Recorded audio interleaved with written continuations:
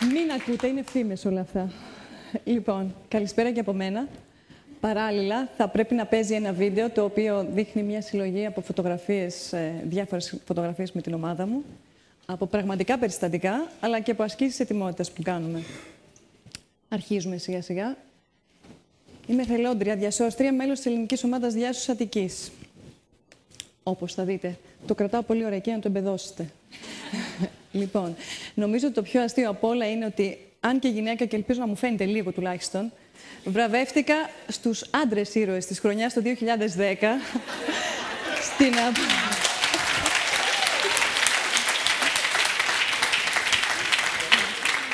για την αποστολή στην Αιτία όπου συμμετείχα με την ομάδα μου. Ήταν και άλλες δύο κυρίες στην αποστολή, απλά δεν είχαν έρθει στην απονομή. Οπότε έχω την τιμή να φέρω μόνη μου τον τίτλο του άντρα ήρωα της χρονιάς μαζί με τους υπόλοιπους. Η αλήθεια είναι ότι δεν είμαι ήρωας. Μερικές φορές όπως τώρα χρειάζομαι εγώ διάσωση. Εγώ θέλω να φύγω από εδώ αυτή τη στιγμή. Πολλές φορές αισθάνομαι ότι δεν μπορώ να βοηθήσω εγώ ίδια τον εαυτό μου. Έχω τις δυσκολίες μου, τις μικρότητές μου, τις ανασφάλειές μου. Είναι δύσκολο. Όμως όταν θέλεις, μπορείς. Και σκέφτομαι ότι άλλοι άνθρωποι τα καταφέρνουν. Γιατί όχι κι εγώ; Θα δείτε διάφορες φωτογραφίες οι οποίες δεν έχουν κάποια συνέπεια με το λόγο, γιατί είναι σκόρπια περιστατικά. Λοιπόν, άλλες είναι ασκήσεις που είναι και όμορφες, άλλες είναι περιστατικά, δεν θα σας τα περιγράψω. Λοιπόν, άρχισα από πολύ μικρή το κομμάτι του εθελοντισμού, χωρίς να το πολύ καταλάβω. Πήγα στην πρώτη, πρώτη, ε, πρώτη μεικτή αγέλη Λυκοπούλων. Μέχρι κάποιο σημείο Λυκόπουλο ήταν τα αγόρια και τα κορίτσια ήταν πουλιά. Εγώ φυσικά πήγα στα Λυκόπουλα μαζί με τον αδερφό μου και για πρακτικούς λόγους μετά αντίστοιχα στους προσκόπους και στην κοινότητα ανιχνευτών. Τα 7 πρώτα χρόνια του εθελοντισμού μου και η πρώτη μου εκτός έδρας εμπειρία ήταν ο σεισμός της Καλαμάτας. Μπαίνουμε όλοι στο τρένο, πάμε Καλαμάτα, αλλά μέσω Πάτρας. Κάποια στιγμή τα καταφέραμε και φτάσαμε και εκεί στήσαμε με τη βοήθεια του στρατού τις σκηνές μέσα στο γήπεδο της πόλης για το σχολείο. Αισθάνομαι στα 14 μου τόσο δυνατή και ότι μπορώ και εγώ να προσφέρω, μπορώ να κάνω κάτι. Από τη μία έχεις την πραγματικότητα που είναι δύσκολη, δεν ξέρω αν θυμάστε εκείνη την πολυκατοικία με την ταράτσα στο ισόγειο. Αλλά από την άλλη έχεις το συνέστημα ότι μπορείς να προσφέρεις. Και έτσι είναι. Μπορείς, άμα θέλεις, μπορείς. Μετά με το σχολείο, μάλλον μετά το Λίγιο και τις σπουδές και ταυτόχρονα με τη δουλειά, ήταν λίγο δύσκολο να παρακολουθήσω εθελοντικά πράγματα, αλλά τα καταφέρνω και προχωράω λίγο στα διασωστικά. Και επειδή αγαπάω πολύ το νερό, όπως με βλέπετε, πλατσουρίζω συχνά, πηγαίνω στην Πανελλήνια Σχολή Ναυαγοσωστική. Και έτσι εκπαιδεύομαι ως ναυαγοσώστρια έρχομαι σε επαφή με πρώτη, ε, πρώτη φορά με το κομμάτι της διάσωσης, βλέπω τις δυσκολίες του, βλέπω τις κινδύνους, τους κινδύνους που ενέχει και από την άλλη βλέπω και την ανθρώπινη επικολότητα που πρέπει να αντιμετωπίσω. Πολλές φορές εμείς οι άνθρωποι δεν σκεφτόμαστε σωστά, ίσως υπερτιμάμε τις δικές μας δυνάμεις, υποτιμούμε πάντα τη φύση και δυστυχώς μερικές φορές τα αποτελέσματα δεν είναι αυτά που θα έπρεπε. Ω ναυαγοσώστρα, λοιπόν, μπαίνω στην ελληνική ομάδα όταν οργανώνεται στην Αθήνα αμέσως μετά τους σεισμούς του 1999 της Πάρνηθας, όπου αυτοί που εγώ λέω μετά δική μου ήταν ήδη εκεί και δούλευαν, δίπλα στην ΕΜΑΚ. Και οφείλω να ομολογήσω ότι η ΕΜΑΚ είναι παντού και κάνει πολύ αξιόλογη δουλειά και τους ευχαριστούμε γι' αυτό. Αλλά ήμασταν και εμείς εκεί, οι δικοί μου. Και όχι μόνο εμείς, είχαν έρθει και από την Τουρκία. Πριν είχαμε πάει εμείς στην Τουρκία. Μετά όλοι μαζί πήγαμε στην Αλγερία. Είναι συγκλονιστικό. Κάτω από τόσο δύσκολες και άσχημες συνθήκες, και όμως όλοι αυτοί οι λαοί έρχονται κοντά ο ένας στον άλλον. Και όλοι έχουν τον ίδιο σκοπό. Θέλουν να βοηθήσουν, θέλουν να προσφέρουν, θέλουν να σώσουν. Ό,τι μπορούν να κάνουν. Δεν είναι πάντοτε σωστό το αποτέλεσμα, μάλλον έτσι το επιθυμητό. Αλλά όλοι προσπαθούν. Πολλές φορές λοιπόν βλέπεις ότι μπορείς και εσύ μέσα από την προσπάθεια. Θέλω να μπω κι εγώ. Εντάσσομαι στην ομάδα, γνωρίζω ανθρώπους τους οποίους θαυμάζω και για το ήθος τους, για τις αξίες τους, για τις γνώσεις τους και όχι μόνο έχουν γνώσεις και ικανότητες, αλλά και όντως το πράττουν φεύγουν από τον ελεύθερο χρόνο που ίσως δεν έχουν και τρέχουν να πάνε κάπου να βοηθήσουν κάποιον που για κάποιο λόγο, είτε από δική τους ανασφάλεια, από δική τους χαζομάρα ίσως, βρίσκονται σε κίνδυνο και τρέχουν να τους βοηθήσουν. Και γίνομαι κι εγώ μέλος αυτής της ομάδας. Και θέλω κι εγώ να μάθω να μπορώ να βοηθάω. Και αρχίζουν οι εκπαιδεύσεις, βουνό, πεζοπορίες, αρχίσεις μετά στη θάλασσα, ασκήσεις στο ποτάμι και πάντα στις πρώτες βοήθειες, πουθενά χωρίς πρώτες βοήθειες, όλοι μας. Αρχίζουν οι φίλοι μου να παραπονιούνται και σκέφτονται ε, ότι δεν συμμετέχω, τους έχω ξεχάσει, έχω άλλη ζωή, ίσως έχω άλλους καινούριους φίλους. Δεν είναι ακριβώς έτσι.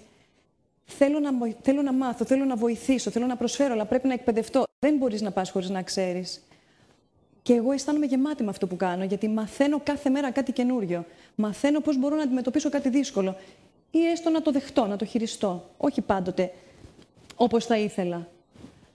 Όμως μαθαίνω και αυτό με γεμίζει. Και αυτοί με καταλαβαίνουν. Μαθαίνω επίσης ότι είναι δέσμευση να είσαι διασώστης. Θέλει και πειθαρχία, αλλά θέλει και αγάπη. Και άμα το κάνεις με αγάπη, όλα τα υπόλοιπα φεύγουν. Οπότε λοιπόν αρχίζουμε κι εμείς να συμμετέχουμε πιο ενεργά. Αρχίζω εγώ μάλλον να συμμετέχω πιο ενεργά στην ομάδα μου. Εδώ είναι η ανθρωπιστική, ε, πώς το λένε, η ανθρωπιστική βοήθεια που συγκεντρώθηκε από όλη την Ελλάδα για τον Ιράκ. Δεν καταφέραμε ποτέ να πάμε. Πολλές αποστολές δεν ξεκίνησαν καν. Αλλά ακόμη και το να ξενυχτάμε στις αποθήκες του Πειραιά, να ξεδιαλέγουμε την ανθρωπιστική βοήθεια που έχει συγκεντρωθεί, να τη συσκευάζουμε και να τη στέλνουμε, είναι και αυτό βοήθεια. Μαθαίνουμε τι χρειάζονται, μαθαίνουμε τι έχει εγκρίνει το κράτος, γιατί δεν μπορούν να φύγουν όλα. Τα ξεχωρίζουμε, τα ξεδιαλέγουμε, τα συσκευάζουμε, τα στέλνουμε. Έχουν μαζευτεί πολλά εμφυλωμένα νερά. Δεν μπορούν να φύγουν για το Ιράκ λόγω βάρους. Τότε όμως η Λευκάδα πλήττεται από το σεισμό, οπότε τα εμφυλωμένα νερά πάνε εκεί που τα έχουν ανάγκη. Δεν είναι και αυτό βοήθεια. Όσο μικρή και να είναι, εκείνη τη στιγμή αυτοί οι άνθρωποι έχουν ανάγκη από νερό και εμείς τους το στείλαμε. Αισθάνεσαι πολύ δυνατός μερικές φορές. σω αδικαιολόγητα, αλλά ίσως και λίγο δικαιολογημένα έρχεσαι κοντά με ανθρώπους που αγαπάνε το ίδιο με σένα και σε καταλαβαίνουν και καταλαβαίνουν γιατί ξενυχτάς το βράδυ στην αποθήκη του Πειραιά.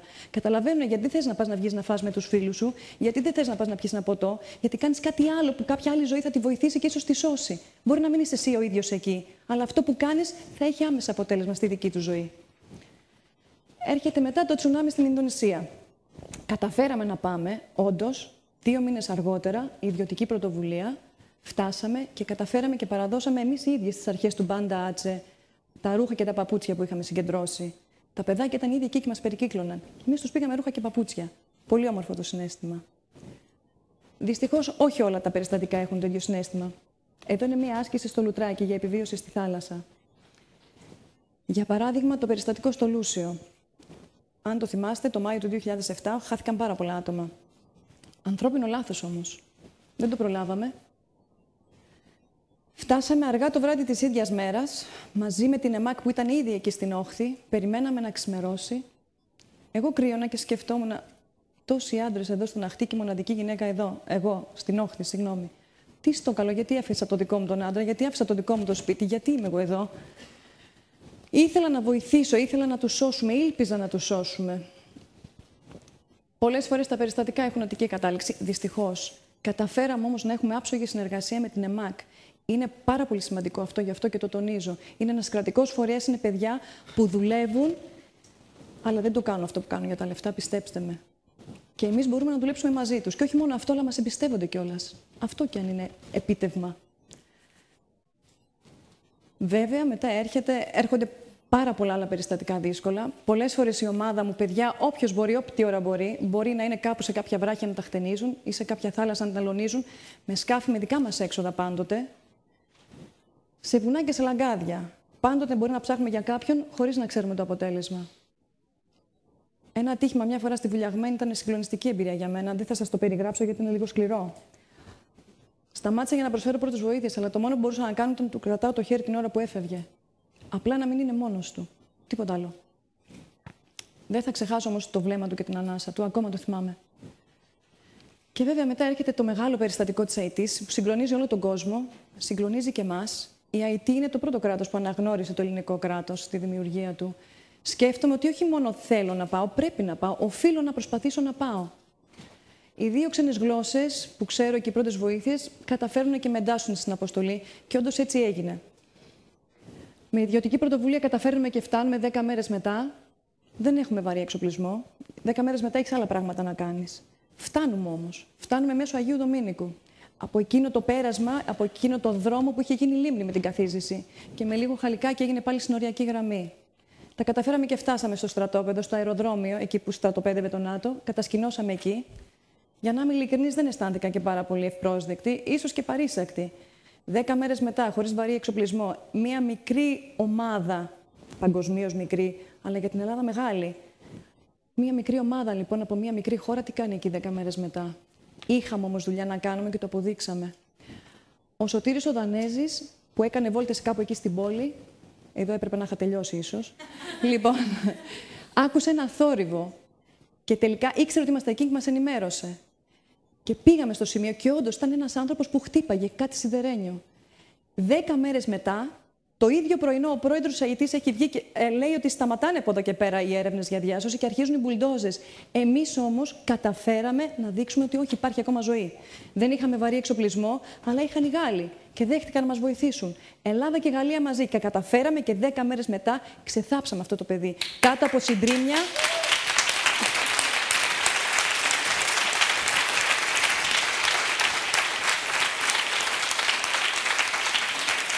Ευχαριστώ πολύ. Κάτω από τα συντρίμια, λοιπόν, και μετά από 10 μέρες ήταν ζωντανός. Δεν νομίζω ότι μπορείς να το συγκρίνεις αυτό το συνέστημα με τίποτα άλλο στον κόσμο. Μετά, όπως είδατε, γίναμε όλοι άντρες ήρωες της χρονιάς, μέσα σε αυτούς και εγώ. Πάρα πολύ συγκινητικό να σε χειροκροτούν όλοι, αλλά τίποτα δεν μετριέται με αυτή τη ζωή που έχεις σώσει και με αυτό που αισθάνεσαι εκείνη την ώρα. Αισθάνεσαι πάρα πολύ δυνατός.